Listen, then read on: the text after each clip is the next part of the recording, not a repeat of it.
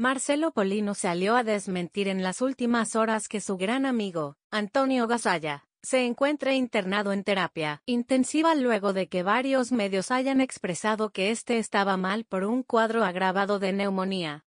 La información habría sido dada por Guillermo Barrios quien luego del comunicado salió a pedir disculpas. A través de su cuenta de X el jurado del Cantando por un Sueño, América, salió a aclarar los rumores sobre el humorista, Quiero contarles que la información publicada sobre mi amigo Antonio Gasalla es falsa. No está en terapia ni internado. Gracias por el interés y cariño.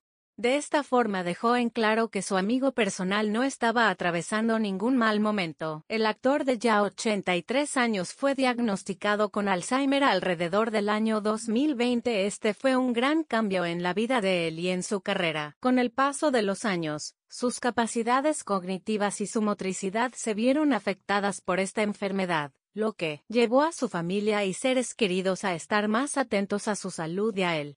Cerca del 2017, fue el último show que dio Antonio Gasalla en el programa de Susana Jiménez. En este ambos se emocionaron mucho, por haber trabajado más de 15 años juntos creando y mejorando muchos personajes.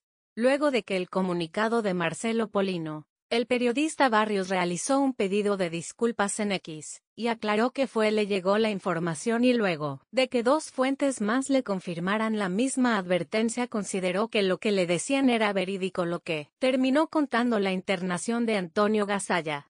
Aclaró que luego de que Marcelo Polino desmintiera los dichos de él, nuevamente las fuentes que él tiene le dieron la misma información. Hay capturas de pantalla que corroborarían dicha data pero las cuales son impublicables dado que serían causa de despido inmediato. Deseo de corazón que Marcelo Polino tenga la verdad y razón, siguió Guillermo Barrios. El periodista, luego de la información brindada, se refirió a las graves acusaciones y ataques que recibió por redes. Antes de atacarme viciosamente les pregunto, ¿por qué daría una fake news de motus propios sin fundamentos? Daño no me gusta hacer gratuitamente, y menos luego de haber estado en coma el año pasado. Guillermo Barrios prosiguió, expresando su malestar ante la situación, y reiteró las disculpas a todos los involucrados. Además, agregó y sé que Antonio Gasalla no me lee, pero de alma a alma, espero que sepa que no hubo intención de dolo alguno ni maldad de mi parte. La admiración hacia su figura es enorme. Cierro nuevamente pidiendo perdón a todos y que tengan buenas noches. Cerró el periodista luego de ser desmentido por Marcelo Polino, VDV.